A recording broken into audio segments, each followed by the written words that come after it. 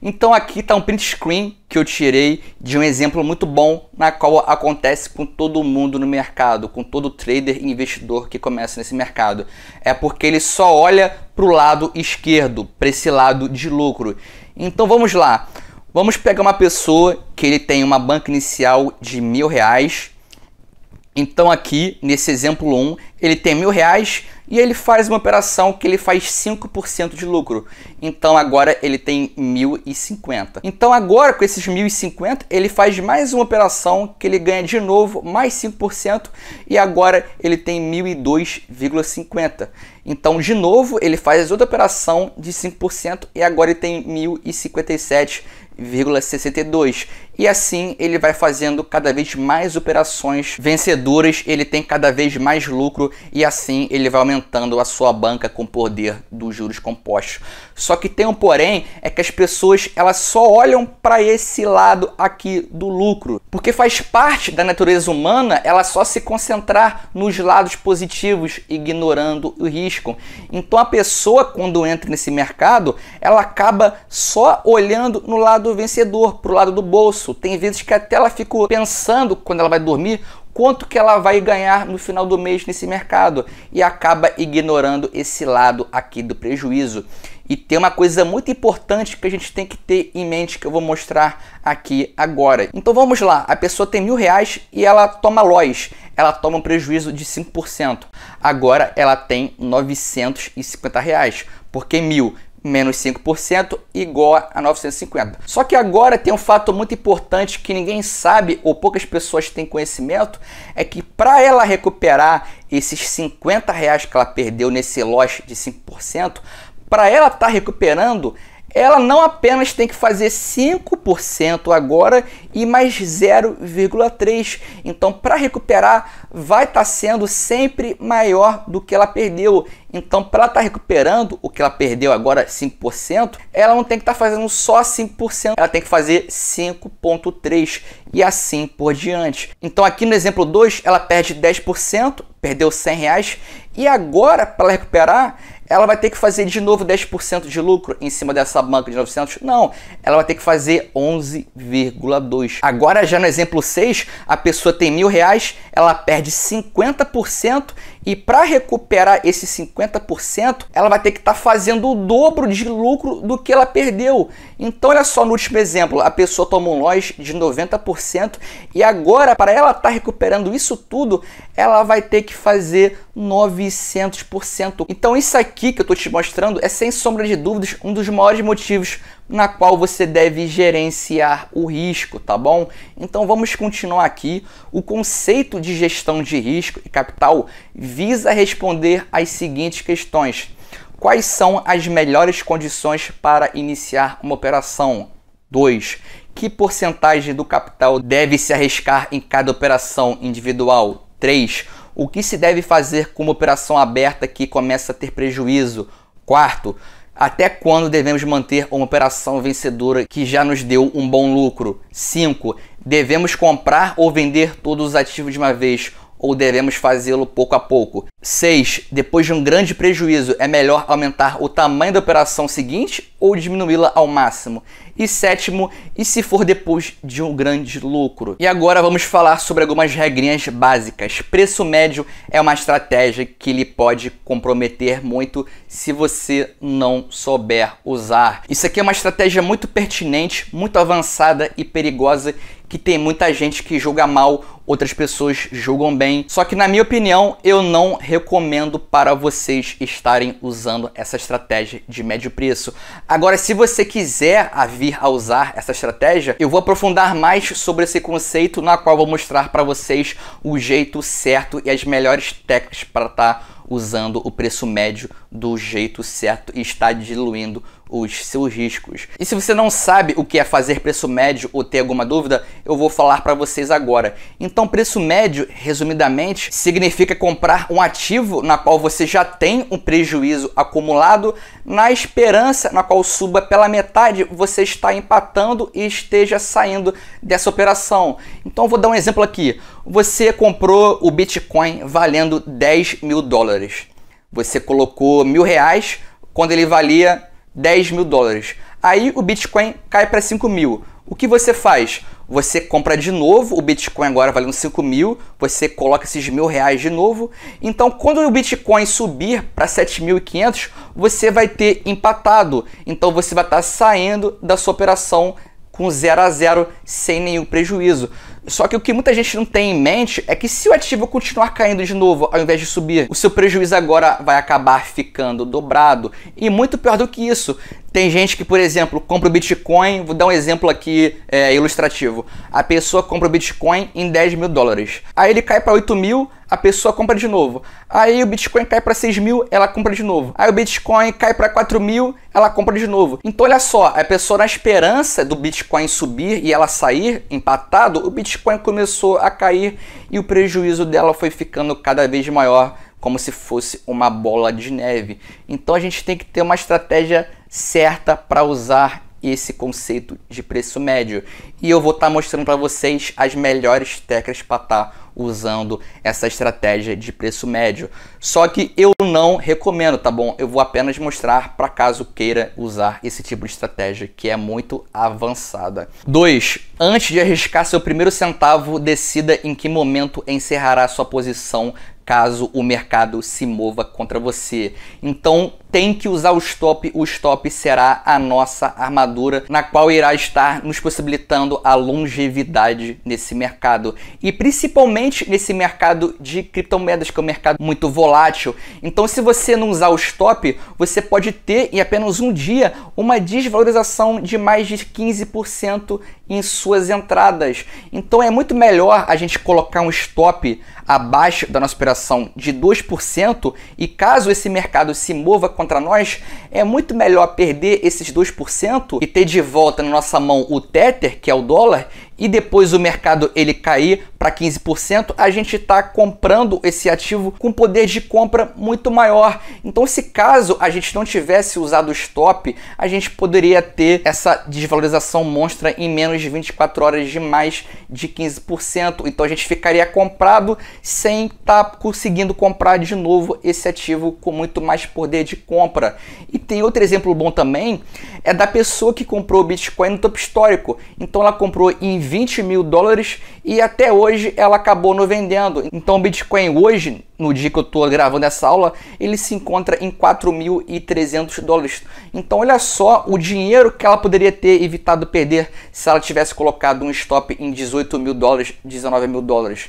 Então é um dinheiro muito grande que ela acabou perdendo por esse simples motivo de não ter colocado o stop. Então eu falo aqui por experiência própria para vocês que usem o stop devido a essa estratégia, porque caso o mercado se mova contra vocês, e peguem a sua ordem de stop, você terá de volta o Tether em suas mãos.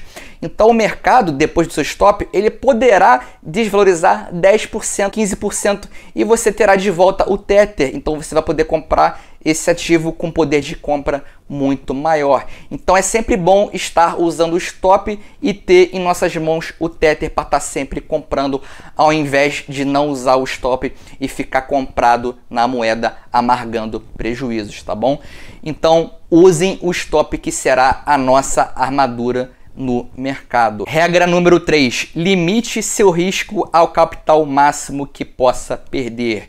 Então, quando o mercado de criptomoedas esteve subindo em janeiro, a pessoa vendeu casa, ela vendeu carro, ela colocou um capital que não podia perder nesse mercado. E o que aconteceu? O mercado começou a dar uma reviravolta, começou a cair e ela acabou perdendo um dinheiro na qual ela não poderia perder. Então nunca coloque um capital que você não possa perder nesse mercado.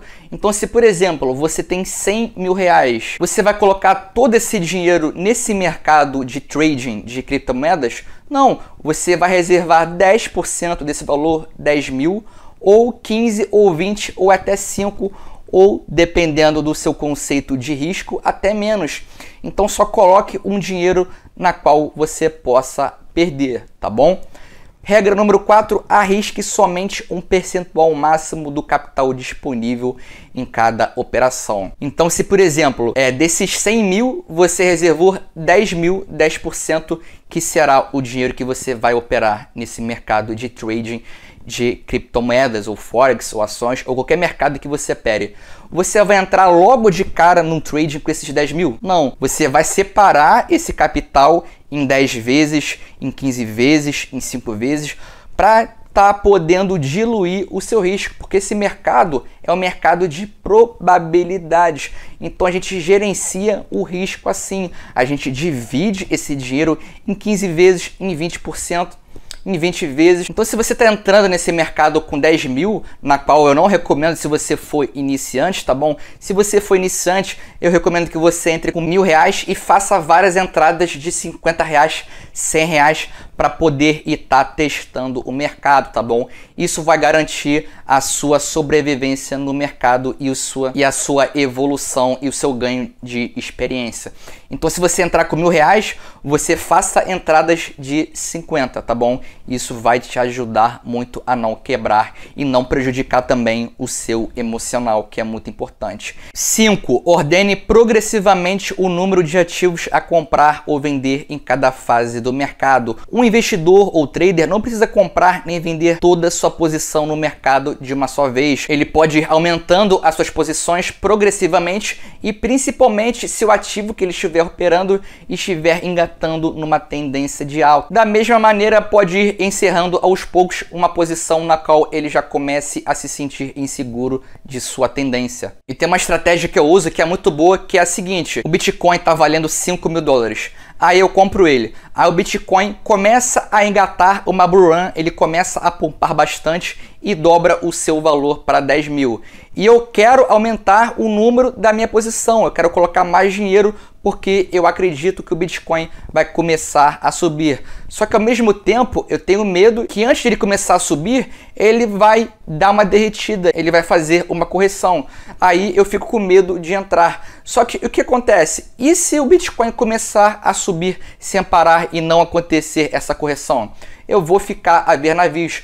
Então o que eu faço? De vez de eu fazer outra entrada inteira, eu faço uma entrada pela metade. Então, se o mercado ele começar a dar uma derretida, vai ser eu vou ter um prejuízo muito menor que se eu fizesse uma entrada grande. E se caso ele comece a subir, o meu psicológico e lucro vão me agradecer. Então, essa estratégia de ordenar progressivamente o número de ativos a comprar é uma ótima estratégia que também dilui o seu risco.